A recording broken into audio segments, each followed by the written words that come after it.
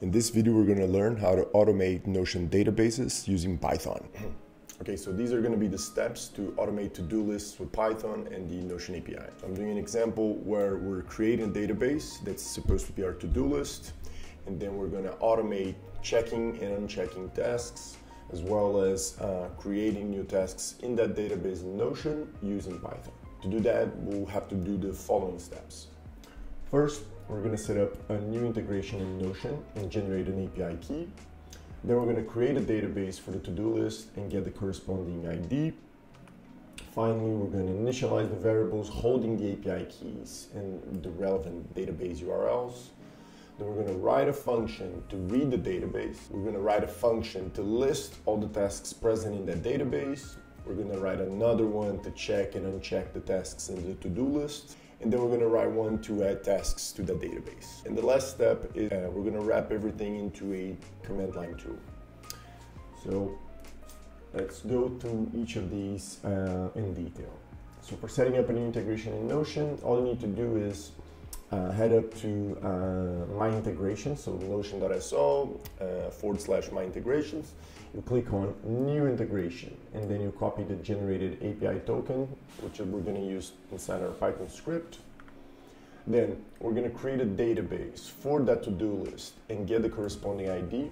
So uh, to create a database in Notion, we just open a page in our Notion workspace and we type in uh, forward slash database. So something like this. So to create a database in Notion, all you need to do is uh, you come here in Notion and you write database inline or full page. We're going to choose full page. And then we have our database. I'm going to call mine tasks. And that's what you got to do. Now, when, okay. So after we've done that, we're going to initialize the variables that are holding the API keys and the relevant database URLs. So to do this, we got to first export the corresponding keys to our environment. So we're to avoid stuff like, you know, you putting uh, API keys uh, publicly available on GitHub or, you know, you don't want to have uh, API keys in your code base. So you're going to update your .bashrc file and you're going to write two lines which are going to be export Notion token as, and then you give your Notion integration key that you got when you went to the My Integrations part.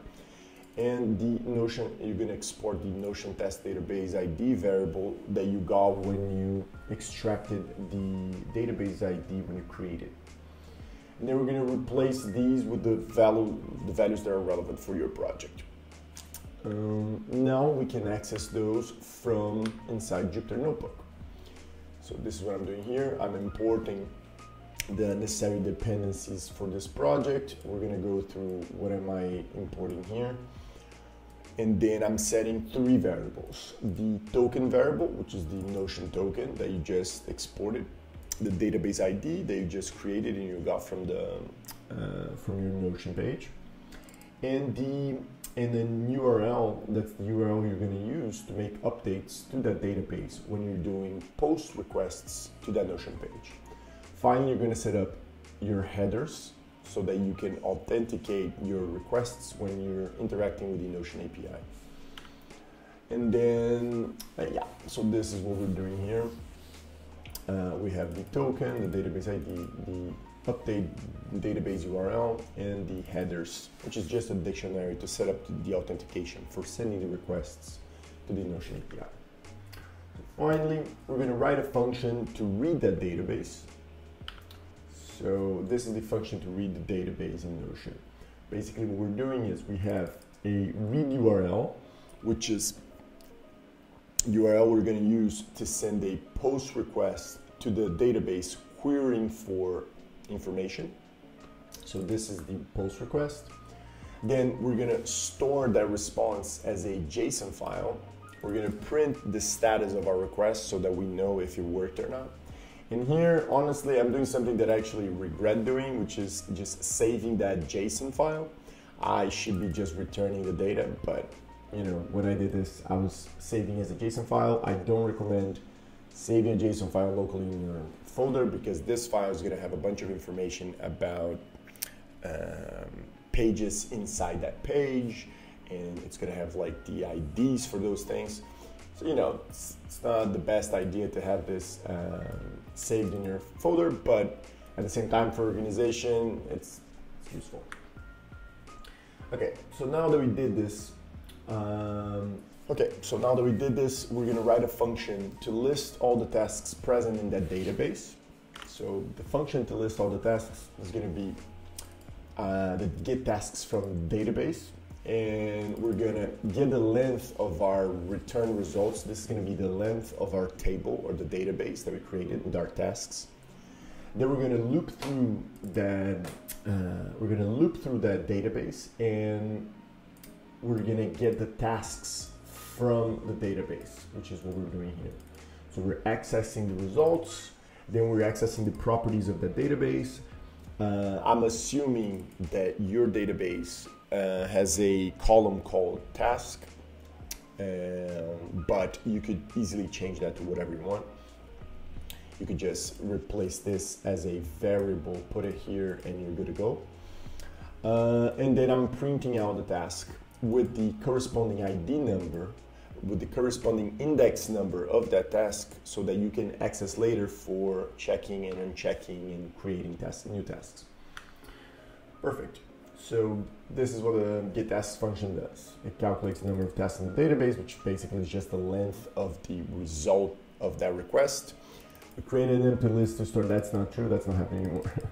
we loop through each task in the database, checking if it has a title, and then we extract the name of each task and print the index and the name of that task.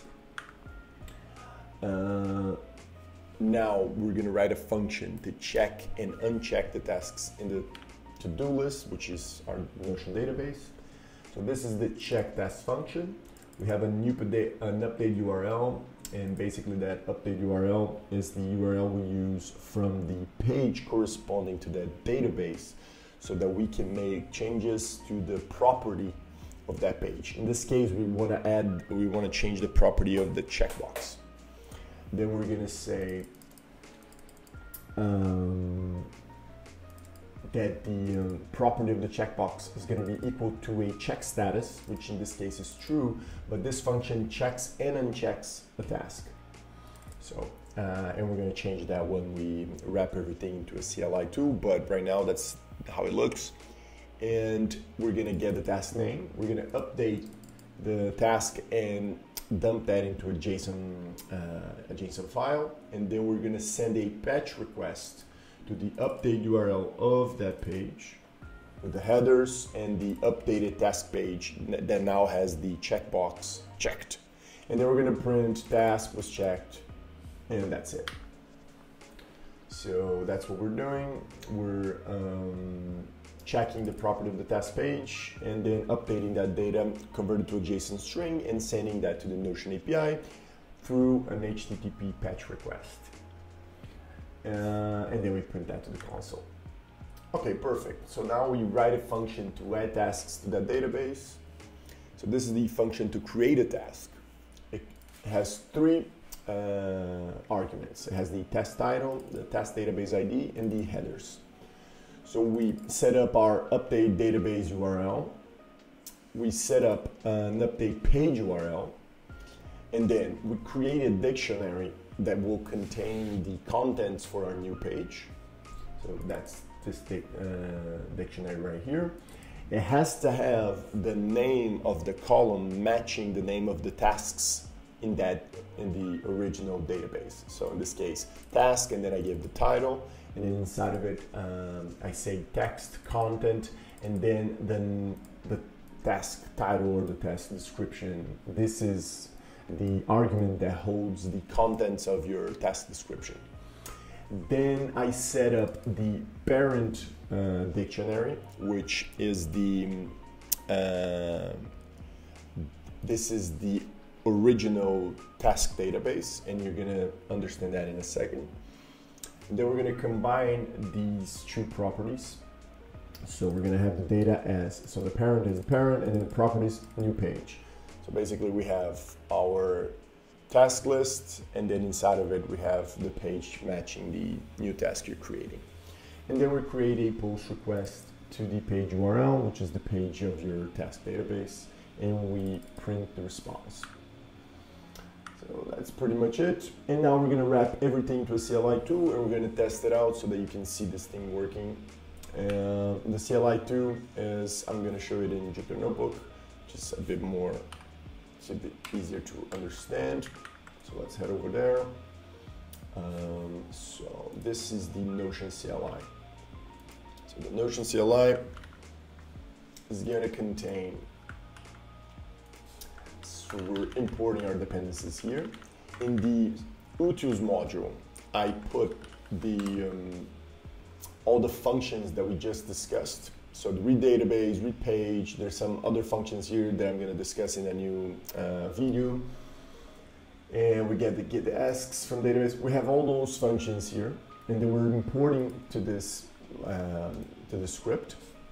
We're setting up our tokens or task database ID and the URL to update the database and the headers dictionary. And now I'm using the argparse module from Python to create a simple CLI tool. I'm adding a few arguments, so get, which is gonna get all the tasks from the um, task database, um, an argument called check task to check a task when it was done, a uncheck task argument to check uncheck a task in case you know I thought I was done, but then I wasn't. And then uh, a net task argument where I create a task uh, from scratch and I just add it to the database. And then I parse these arguments. I parse these arguments right here, and then I set up my. Um, uh, I set up the actions. So if I call the get argument, with the name to-dos. Right now it just has this uh, functionality, but I'll, I'll add something later. Uh, and then I just call the read database function. I read the database, and then I print the outputs of the get task from database, which is the function we discussed just now. Uh, so I'm calling the uh, get tasks from database, which is right here. So it is, uh, I'm gonna erase this because I'm not using this list. I'm just gonna look through all the tasks in the database and print that out. Okay, so to showcase what that looks like, let's just do a little demo. Uh, so here on my left, I'm gonna have the command line tool.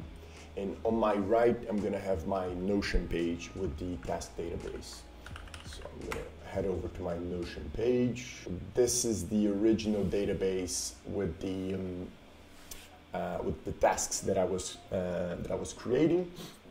And now we're gonna say, okay, uh, I'm gonna run Notion PyCLI. I'm gonna say get, and I'm gonna say to dos. And as you can see here on the left, from zero to eight, I have eight tasks. From uh, bottom to top here on the Notion database with my tasks. So run code server, uh, the YouTube, some random tasks that I put here, and it works super well, and it works super fast, which is great. Um, okay, so now for the second argument, the check task argument, I'm setting up the argument so that it takes in an integer, and then this integer matches the index of the task. So 0, 1, 2, 3, 4, 5, 6, 7, 8 in the case of this task database. And then I just say, okay, um, get a page in the database, and I give the task database ID, which is the database ID for the task list table thing that you're seeing here on the right. And then I say, okay, uh, uncheck that task, or check, sorry, check that task or uncheck it. Uh, and what does that look like in practice? Well, I can say Python Notion CLI, and then I can say check task, and then let's say I'm gonna check the uh, run code server as a background service because I already did that. So I'm gonna say zero. I'm gonna run, and as you can see, in real time or whatever, it just checked the task, and now let's say uncheck the task, which is the other argument. I say uncheck the task and it just unchecked the task like you're seeing here. So, you know, it's fun to play with APIs. And finally, let's look at the add task argument. So I can say Python Notion CLI, and then I say add a task, and I just give a description for that task. So finish YouTube video about the Python Notion API integration. Uh, integration. I can say that, I can run this, and now, as you can see here on my right, the function, the task was added to my database. And that's pretty much it. Uh, thanks for watching. Don't forget to like and subscribe, and see you next time. Cheers.